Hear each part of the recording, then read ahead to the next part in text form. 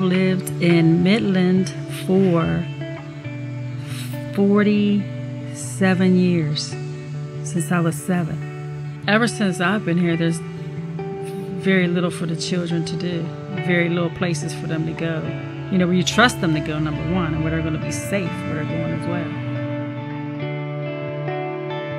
I think that's the biggest thing in the community is the kids not having anything to do and the center giving them something to do.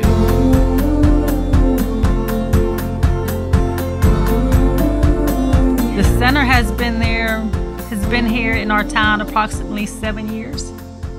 They have the clothing bank, they have the food bank, they have the basketball camps for the children, uh, they have the Super Week, which was just a couple weeks ago.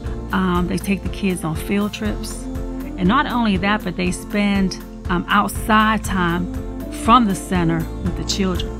There's there's drinks, there's like Capri Suns, there's Cheez-Its. Uh, I mostly play air hockey and sometimes I go over to the little basketball hoop and dunk.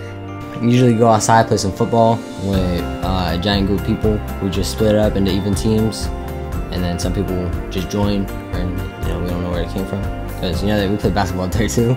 So they just hop in. At the center i've experienced really like nice people. There's really nice people there like jen and corey. They are great with kids. Like if i could choose an aunt and uncle for my kids it would definitely be jen and corey. I just love their presence. You know, every time I see them, it's always a smile. Hey, buddy, how are you? Uh, I like that. Because he always jokes around with us and he tell and he sings really funny and stuff like that. I've been going to the center since they opened. It, it helps me out a lot with my with my daughter. And they have all the things that she likes to eat. So uh, I I like I love it. Well, the center has helped me a lot when I feel like there's nothing to, I don't want to say look forward to, but there's no means of getting help. I know Jen's there. All I have to do is text her and she's she's to open the door and say, you know, come up. We'll help you. You know what I love about the center when I walk in there? all the pictures that they have hanging on all the walls of all the children.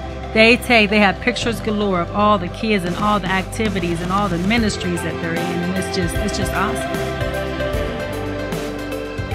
I think that with Jen and Corey, the kids have people to talk to if they need to, and if they didn't have them, maybe they wouldn't have anybody to talk to. A center not being here, I think it would be a very big loss. Jen and have truly dedicated herself to the ministry. When God called them to come, they didn't say, No, we're not going. They said, Let's go. That's awesome. And I always am so thankful that they didn't say no, and I'm very grateful that they did say yes.